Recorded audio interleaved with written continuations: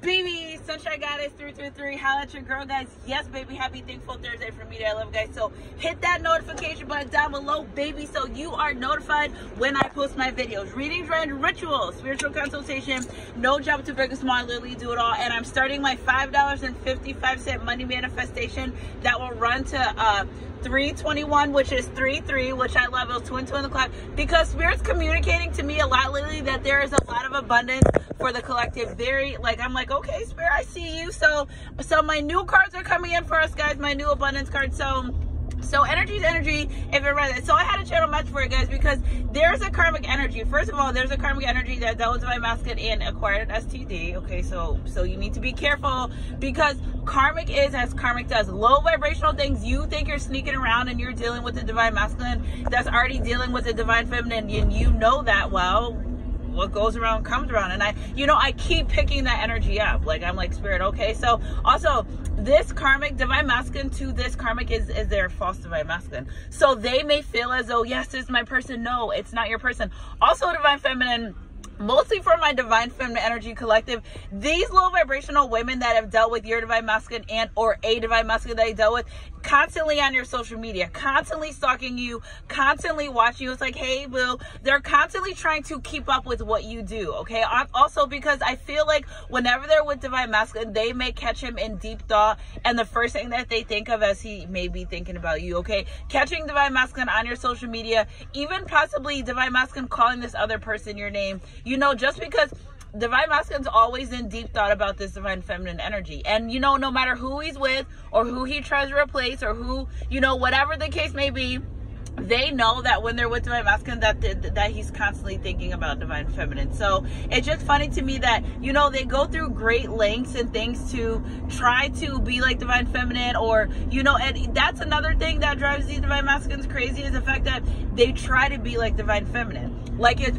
pretty obvious okay? So you know and that's another thing too. It's like why are you trying to be like someone when i chose you for a different reason? For example a lot of my tarot card readers this especially this part for you if divine masculine is dealing with someone you know a low vibrational person that they weren't really into spirituality well now guess what? Now they're into spirituality. Now they're into doing all this stuff. And you know and some of these divine masculines it's not that they don't like that uh, the spirituality aspect of life. It's just that they maybe they don't understand it so they try to get away from it especially because they know you're really intuitive right? So i think that's another thing too that drives the divine masculines crazy is is how intuitive you really are. And if you said something to them or bought something planting that seed again planting that seed to the divine masculine and they're realizing wow like my true divine feminine really is in tune. And then they have this person you know that they've dealt with on a different level because they wanted to something different in their life and here they are being false okay? So a lot of false energy. Spirit kept giving me the word false this morning especially when it comes to these low vibrational situations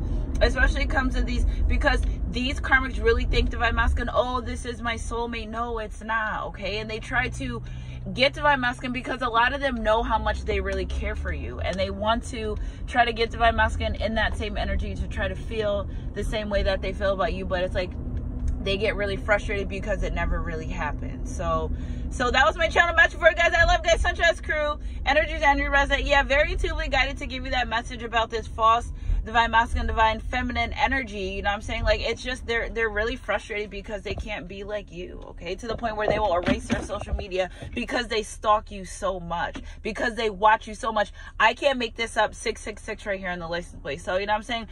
You know you may be persevering through life. You may may not even be in this divine masculine's life. And the number 17 is very prevalent as well this morning too for you guys. You may not even be in contact with this divine masculine but but as much as a karmic knows how much they care for you is they keep you relevant. They keep bringing you up. You know if not even possibly catching again I pick up the energy of somebody catching divine masculine. I could see someone like eating dinner or something. You know, they, they, you know, they think you're disappeared out of divine masculine's life because you're not around them, but you're always in the back of their mind because true twin flame connections, they can't be broken. And I feel like this, this low vibrational person, as much as they research, they're starting to realize I can't be, I can't replace the feelings that my divine masculine had for this person. Four four on the clock, baby. So I love you guys. Sunshine Crew. Happy Thankful Thursday channel message. I couldn't let that get by without telling you guys. I love you guys. Keep your head up and your heart close to God. And I'll catch you guys on my midday mix. Next treat. Whatever comes first. Mwah.